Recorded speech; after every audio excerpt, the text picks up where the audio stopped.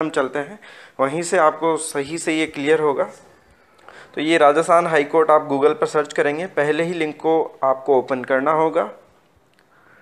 Open करने के बाद यहाँ पर कुछ इन्फॉर्मेशन हमें डालनी होगी। आप अपने मोबाइल पर भी ये करके देख सकते हैं, जिससे आपको ये ना लगे कि ये फेक न्यूज़ है। हम जो भी जानकारी आपको देते हैं प्रूफ के साथ ही आपको जानकारी देते हैं। तो यहाँ राइट साइड पर क्लिक करेंगे तो यहाँ पर आता है केस स्टेटस उसके बाद आप यहाँ जयपुर सेलेक्ट करें। जयपुर यहाँ सेलेक्ट करने के बाद कुछ इस तरह के ऑप्शन आपके सामने आएँगे। तो यहाँ पर आपको सेलेक्ट करना होगा फाइलिंग नंबर और फाइलिंग ईयर फिलिंग ईयर जो भी है ये। इसको सेलेक्ट करने के बाद यहाँ पर आपको ये नंबर आपको टाइप करना होगा। Five four seven one seven ये नंबर आपको टाइप करना होगा। उसके बाद आपको ईयर भी यहाँ पर भरना होगा। दो दो हज़ार अठारह हम कर, करेंगे, क्योंकि ये रिट अभी लगी है। उसके बाद सर्च पर आपको क्लिक करना होगा। सर्च करने के बाद रिज़ल्ट आप देख लीजिए। कैश स्टेटस आप देख सकते हैं। पेंडिंग आ रहा है यहाँ पर। और ये आप देख लीजिए नाम, पेटिशनर का नाम।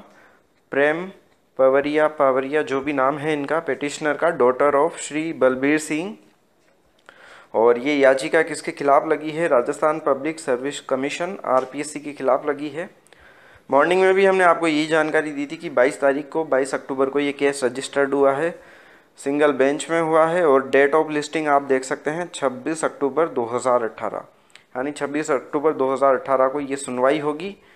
पूरी जानकारी आपके सामने है, आप भी अपने मोबाइल में वेबसाइट खोलकर ये चेक कर सकते हैं स्टेटस। और कितने विद्यार्थी अभी भी इसी पक्ष में हैं कि एग्ज़ाम डेट को आगे बढ़ाया जाना चाहिए तो प्लीज़ लाइक, आपका लाइक और शेयर ज़रूर बनता है, जिससे हम आगे भी इस बात को लोगों तक पहुँचा सकें। आपका सपोर्ट हमें चाहिए तो ये अपडेट आप देख सकते हैं। और इसी के साथ 26 तारीख सुनवाई की तारीख आ चुकी है। डेट ऑफ़ लिस्टिंग आप देख सकते हैं।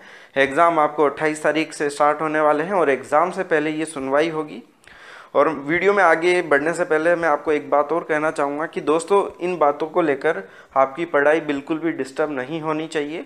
जैसे ही हमें कोई अपडेट मिलेगा आपको चैनल के माध्यम से आपको सूचना दे दी जाएगी। बाकी आप अपनी पढ़ाई कंटिन्यू रखिए, उसमें किसी भी प्रकार का डिस्टर्बेंस नहीं होना चाहिए, क्योंकि इस तरह के वीडियोस की यूट्यूब पर भरमार हैं। कई वीडियोस यूट्यूब पर अपलोड हो रहे हैं बिना मतलब के जिनका कोई सेंस नहीं है। तो आप केवल इतना सा ध्यान रखिए कि सूचना, ये सूचना अपडेट हुई है, उसकी सूचना हमारे चैनल से आपको दे दी जाएगी बिल्कुल प्रूफ के साथ। तो ये आप देख लीजिए, और जैसे ही कोई नया अपडेट मिलेगा, उसकी सूचना जल्द आपको